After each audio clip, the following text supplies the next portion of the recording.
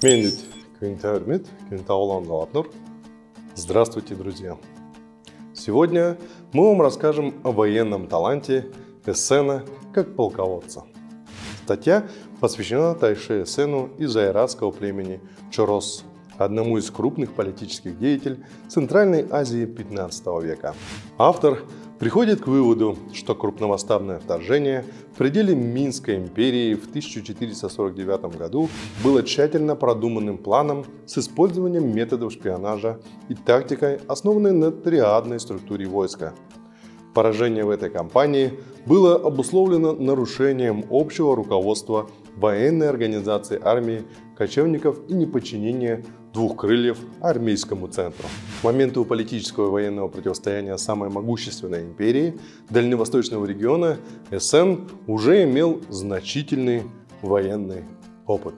В 1420-х годах СН успел реализовать три военных кампании против восточного Магалистана под своим командованием которые закончились вполне результативно. Благодаря успехам этих операций территория политического влияния айратов простиралась на западе до Бешбалыка.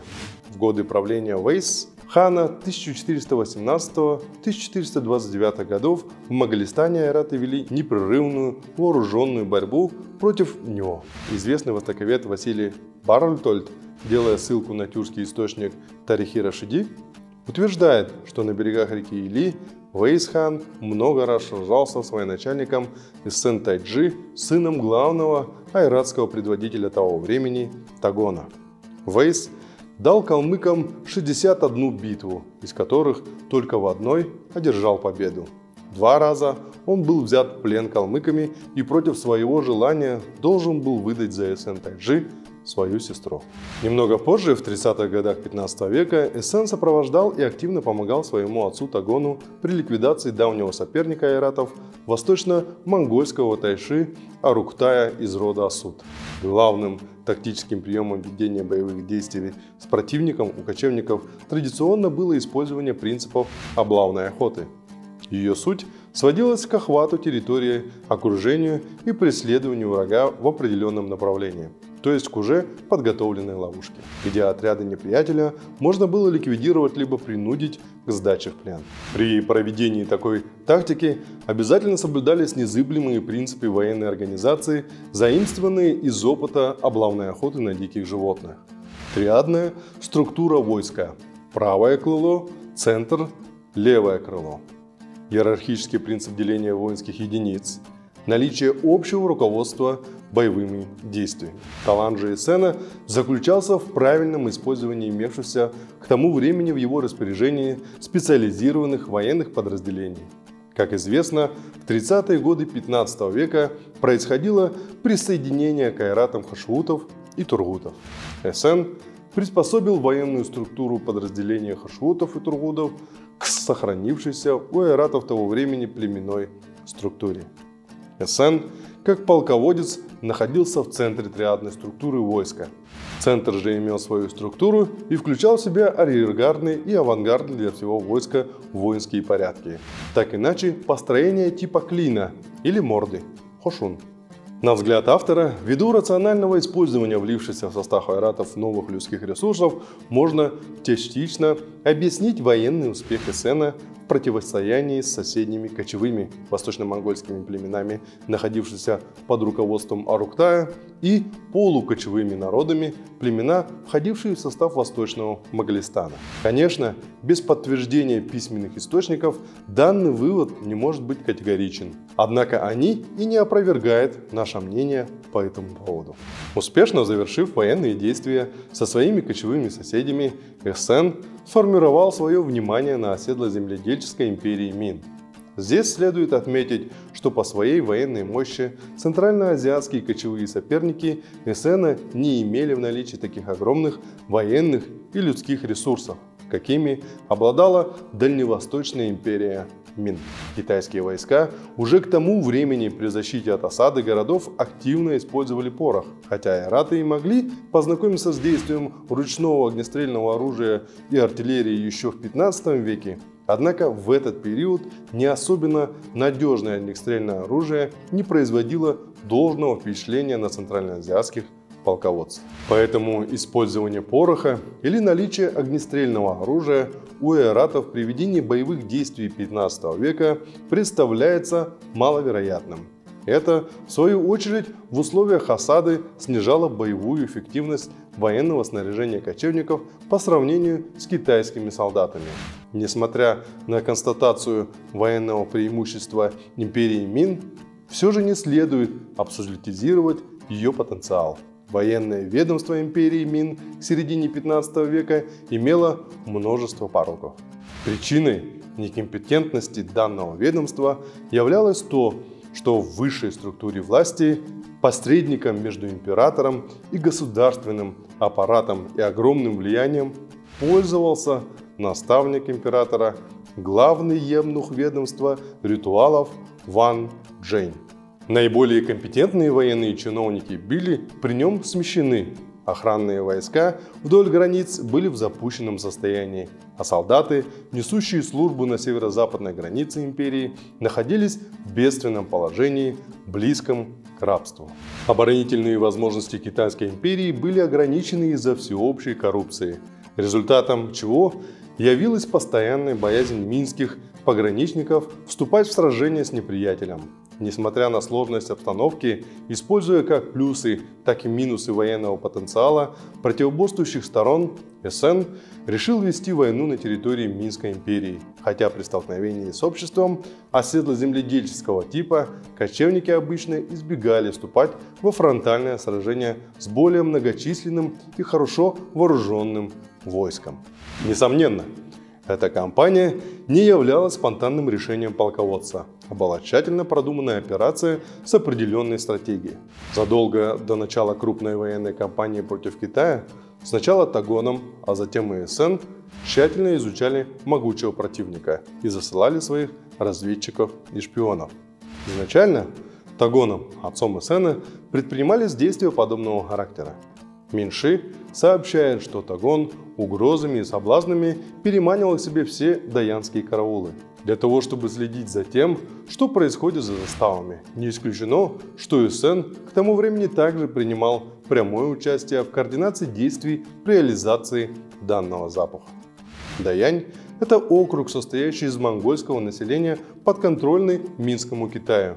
Нанесение этого округа лежала функция охраны северных рубежей Китая.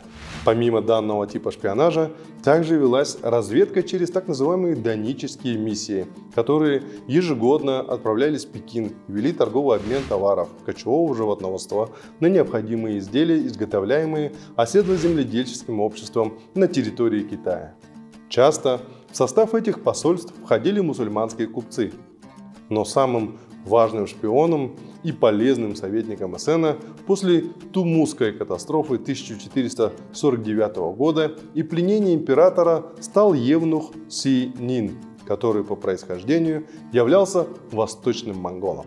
При такой сложной расстановке противоборствующих сил летом 1449 года началось масштабное вторжение айрат-монгольских войск в Китай. Айрат-китайскую войну можно разделить на три этапа. От седьмого месяца 14 года правления Джентуна до восьмого месяца этого же года включает сражение при Тумы, разгром Минской армии и пленение императора Жу Цзэджэня.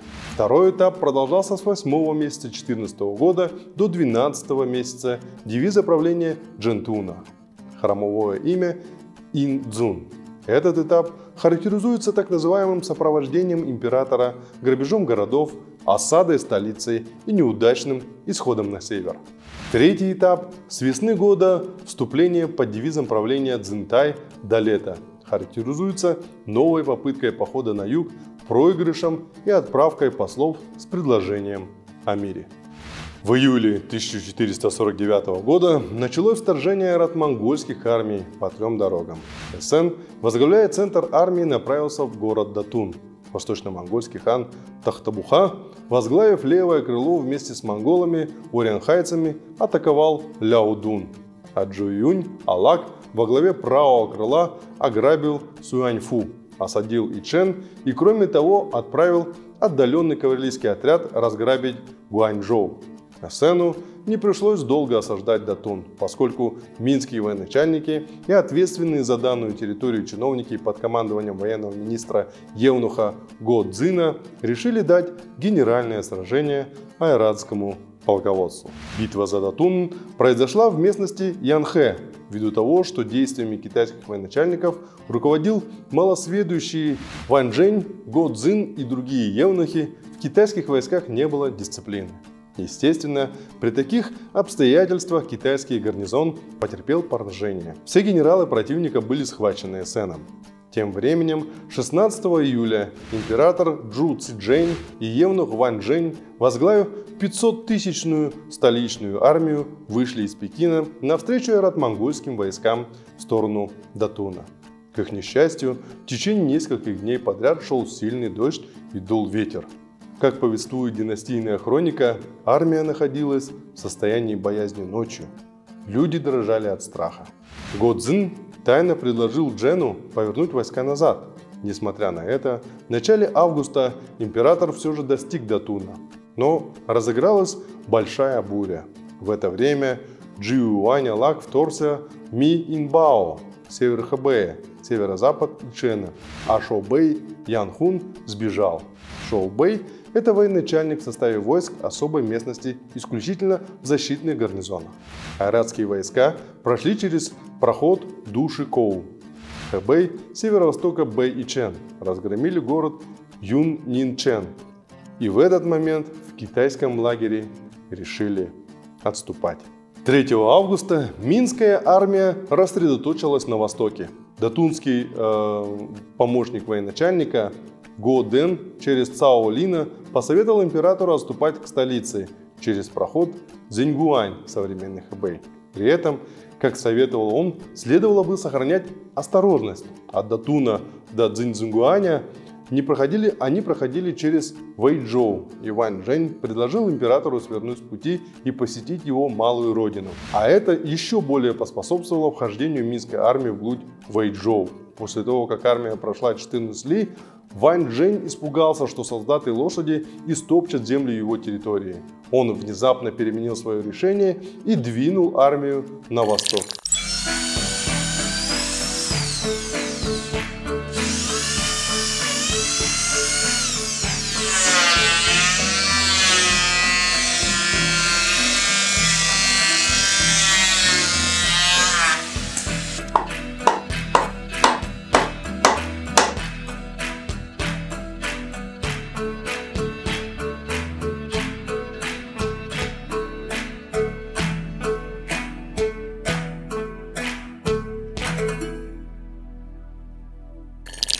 10 августа император прибыл в Сюаньфу. Айрато-монгольские войска атаковали армию с тыла.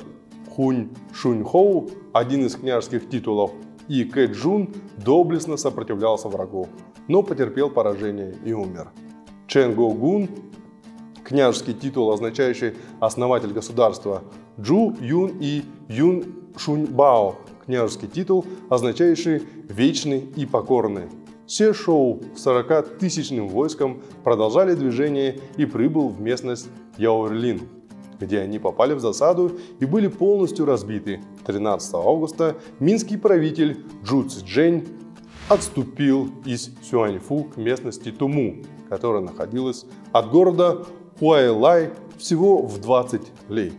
Минский император тогда оставался на горе Ланшань у Тумусской крепости, а армейский лагерь был разбит около крепости Туму. Крепость Туму является важной почтовой станцией, которая стояла между проходом Дзюаньгуань и Сюаньфу.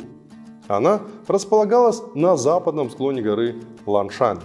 В это время с северо-запада со стороны Яорлина китайская армия подверглась нападению войска под командованием Эссена. С северо-востока, со стороны города Ичена и на территории Юн-Нина атаковали минскую армию войска Джуайная Алага. Минские войска попали в очень тяжелое положение, а осматривая данную тактику, хочется отметить, что в ней применен один из популярных военно-тактических приемов центральноазиатских кочевников, именуемый принципом двойного удара крыльев. Этот тактический прием был исключительно широко распространен у кочевников Центральной Азии и активно применялся ими даже в 18 веке. На следующий день, 14 августа 1949 года, на рассвете айратские войска достигли крепости Туму и окружили гору Ланшань. В официальной династийной истории Минши сказано, Туму находится на возвышенности, стали копать колодцы, были глубиной в два джана, но воды не находили. Все дороги, на которых имелись источники, были захвачены врагом. Люди испытывали жажду, и на следующий день враг обнаружил, что императорская армия стоит и не двигается, и притворно отступил. Тогда Ван Джень приказал перевести лагерь к югу. Минские войска находились без воды два дня. Как люди, так и скот испытывали жажду. Армия очень утомилась. Айратская же армия увеличивалась. 15 августа айратские войска притворно дали понять, что отступают, и послали гонца с предложением о мире. Минский Джу Цзинь приказал Сюэши, титул имеющий значение ученый, Цао Лину побыстрее дать ответ и послал двух людей вместе с послом Эсена в лагерь айратов с целью заключения мира. Ван Жень приказал переместить военный лагерь поближе к воде. Положение в войсках было плачевным, царил беспорядок, и все двинулись на юг.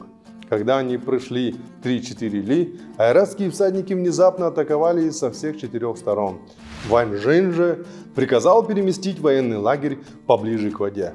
Положение в войсках было плачевным, царил беспорядок, и все двинулись на юг. Когда они прошли 3-4 ли, айратские всадники внезапно атаковали их со всех сторон. С яростью, рубя минскую армию и громко восклицали «Не убьем тех, кто сдается». В результате китайская армия потерпела фиаско. Минский Инзун, так иначе император Джу Цзинь, во главе своей гвардии собирался прорвать окружение, но успеха не имел. Ему даже пришлось слезть с лошади и сидеть на земле, скрестив ноги. Его сопровождал только евнух Синин. Император был захвачен в плен, и Сен, когда узнал о прибытии императорского экипажа, был очень изумлен и даже не поверил этому. Но когда они свиделись, Эсен очень вежливо общался с ним. В истории это событие было названо битвой при Туму или Тумусской катастрофой. Таким образом, удачный для Эсена исход первого этапа Айратско-Китайской войны был достигнут не только благодаря его воинскому таланту, но и благоприятным для айратской стороны природным явлениям, таким как буря, дождь и так далее. К тому же Эссену благоприятствовало наличие некомпетентных и бездарных деятелей в главном штабе противника, поскольку всеми военными операциями руководили малосведущие в военном деле евнухи Го Цзинь и Ван Джень. После пленения китайского императора начался второй этап войны. Эссен устроил совет со своими приближенными относительно судьбы своего царственного пленника – После жарких споров было решено отставить пленного императора у младшего брата Эсен Баяна Тимура. Здесь Эсен совершил политический просчет. Именно на втором этапе войны Эсен полагал, что пленный император может быть козырной картой будущих мирных переговорах.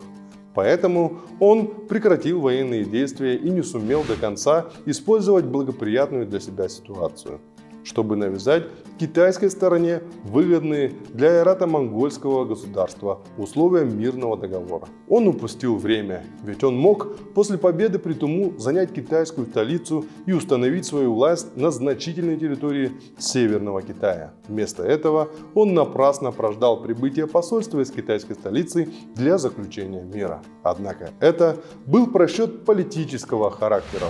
В военном же плане его талант полководца остается неоспоримым. На этом пока все. Подписывайтесь на наш канал и, конечно же, делитесь нашим видео. Всего доброго. Сян Мендебятн. Дорогие друзья, в год благодарности его святейшеству Далай-Ламу 14 приуроченные к 85-летию его рождения в рамках реализации проекта Центрального Хурула Калмыкии «Золотая обитель Будды Шакемуни.